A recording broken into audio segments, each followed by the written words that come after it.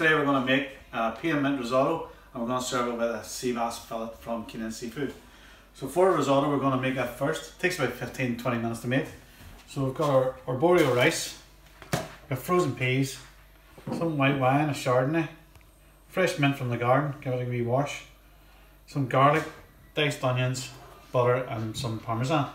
So first thing we're going to do is put our hand on the heat, get it nice and warm. I'm going to add a wee splash of our oil and a couple of knobs of butter. I'm going to melt those down. I'm going to pan fry our onions.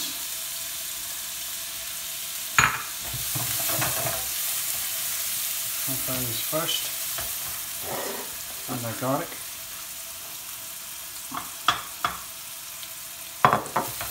We're just going to soften these slightly before we add our rice.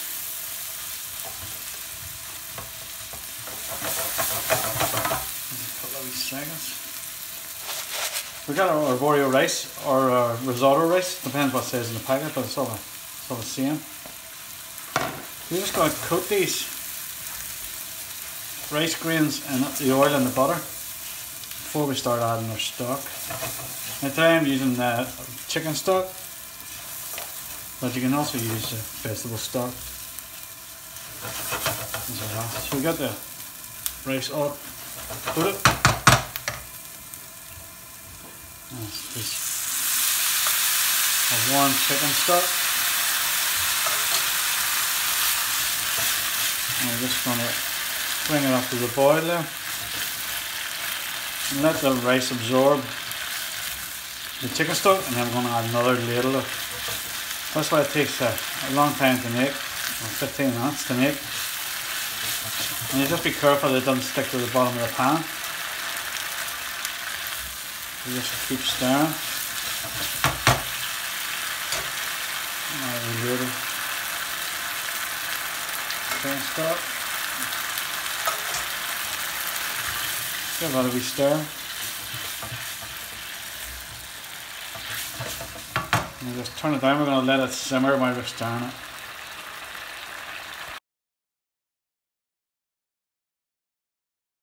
After simmering for 15 minutes and stirring our chicken stock in, we're going to give it now a wee splash of white wine. Stir that in. You can do that at the start when you add your onions, but I like to add it near the end. Just to get that, keep that flavour of the white wine. So that's stirring her up, white wine, we're going to add our fresh mint. And our peas. Give it a wee stir in. And a knob of our butter. And some of our parmesan.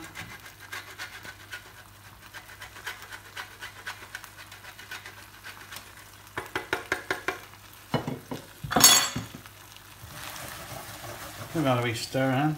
We're just going to let it sit now with a lid on it. And this is, this is the important part.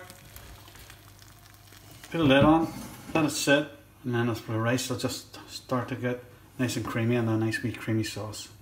So it'll, nice, it'll cook away there. So when it's resting, we're going to do our sea bass. Okay, now we're going to do our sea bass. So you got a wee splash of oil. Take a wee sea bass fillets, all nice and trimmed.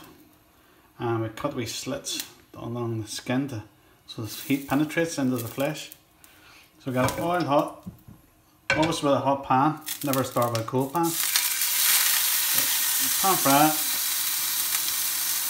Hold it down for a couple of seconds so the skin keeps contact with the pan. And then same again for the tail then. Into the pan. Press it down for a couple of seconds. And we're going to bit of salt. And of pepper. We're going to cook this for about 60 to 70% on the skin side. And you see the sea bass will start to cook and the white coming up through the fish. And once it comes up, leave it further, then we're going to turn it over, turn up the pan and add some butter and some lemon juice and let the heat of the pan then finish the cooking. And then we'll plate up our risotto.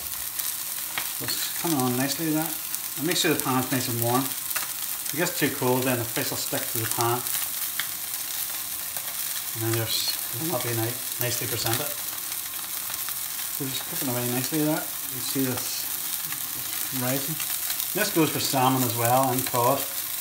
And especially hake as well. You can do wee fillets. But if you're doing like a thick fillet with a cod and a hake and the salmon, you can finish it off in the oven for another few minutes. But make sure you've got a, an oven proof pan, not, not a plastic or a rubber handle. So our sea bass is coming on nicely. We're going to turn it over and we're going to turn off the heat.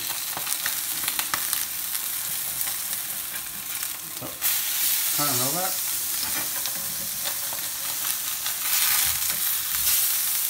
Just like that. Turn off the heat. And add another butter.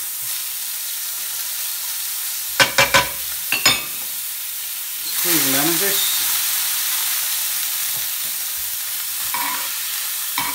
And just base sea bass. Just set that to the side and we're going to plate a risotto. As sea bass is cooking away there, we're going to plate up our risotto. Just give it a stir. Stir in your butter and your parmesan. So just a wee spoonful in the middle of the bowl. Just a wee bit more. Uh, and our sea bass. So I like to put the, the tail end down first. And then the top end of the fillet on top. Grate a wee bit of parmesan on the top.